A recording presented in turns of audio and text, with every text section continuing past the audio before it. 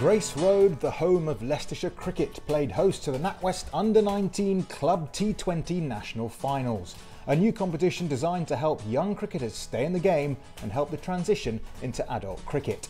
Sunbury Chieftains, York Bombers, Tudhoe Warriors and Bexley Rangers all certainly experienced a high-pressure finals day, complete with booming music and T20 atmosphere.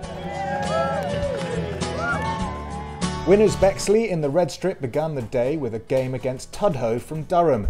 They batted first and opener and skipper Harry First went cheaply early on. But a key partnership of 62 between Matt Stiddard, who retired as per the rules on 50, and Angus Dalgleish, who made 42, helped Bexley to 167 for 5 from their 20 overs. In reply, Tudhoe started well enough with an impressive 50 retired not out from captain Danny Thexton, but the Bexley bowlers tied down the lower order and Tudhoe steadily fell below the required run weight to give Bexley victory by 58 runs.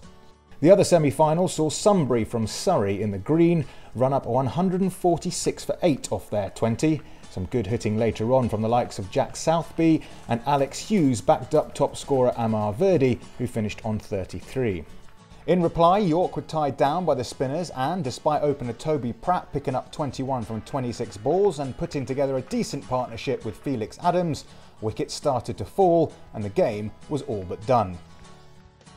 To set up, a Sunbury versus Bexley final. So to the main event. Bexley from Kent decided to bat and after skipper First fell for 15, caught by Warwick Critchard, George Haley weighed in with a 48 and put together a partnership of 85 for the second wicket with Stiddard, who fell one short of making his second half century of the day. Thanks to those two, Bexley went on to reach 146 for 7 from their allotted overs. The final followed the pattern of the day, and once again the team batting second never really got into the game. Sunbury's opener Robbie Hughes hit 30 off 26 balls before he was caught behind, but there were no partnerships more than 19 and Bexley were crowned the first champions of this new competition.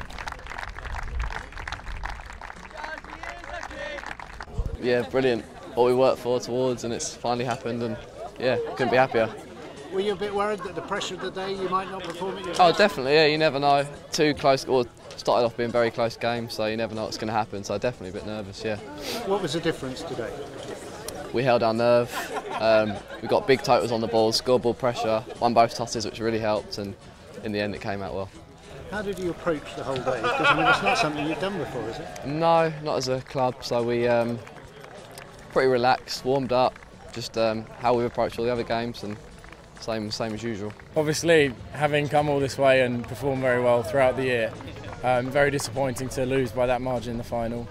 Um, I thought Bexley put very good pressure on us throughout throughout our innings, and maybe they got 10, 20 too many batting first. They got the score on the board, and that put a lot of pressure on our top order. We lost a couple of early wickets, um, and then I thought their spinners tied up the game fantastically in the middle overs. What about the whole experience of this competition? Oh, it was a fantastic experience. I think um, all the organisation. I mean, all the we played two away games in our group, and both those clubs made a massive effort to put on a really good show. We've actually had you know big, biggest crowds I've played at um, it's great that all the parents come, and then obviously with all the music and stuff like that, it does make it far more exciting than just a standard game on Saturday. England's opening bowler Stuart Broad was on duty to hand out the trophy, and he spoke about the importance of keeping cricketers in the game and the need to help make the transition from junior cricket to adult cricket.